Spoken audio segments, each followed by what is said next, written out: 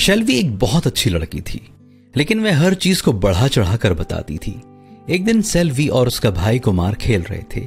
खेलते हुए कुमार का धक्का सेल्वी के पसंदीदा कांच के जार को लग गया और जार नीचे गिर के टूट गया।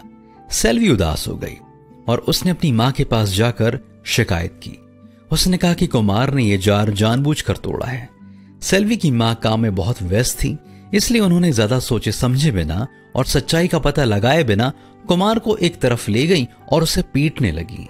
कुमार को पिटाई से ज़्यादा अपने साथ हुए अन्याय का दर्द हो रहा था।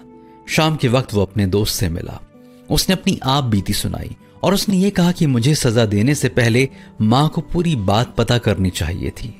प्रिय दोस्तों, कई बार हम भी सच्ची बातों को जाने बिना दूसरों को सजा सुना देते हैं। ऐसा करके हम सामने वाले इंसान को बहुत चोट पहुंचाते हैं।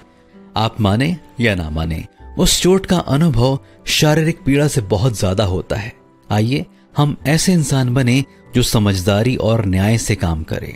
पवित्र शास्त्र कहता है, सब चतुर तो ज्ञान से काम करते हैं, परंतु मूर्ख सिर्फ़ अपनी मूर्णता फैलाता है। हम क्या हैं?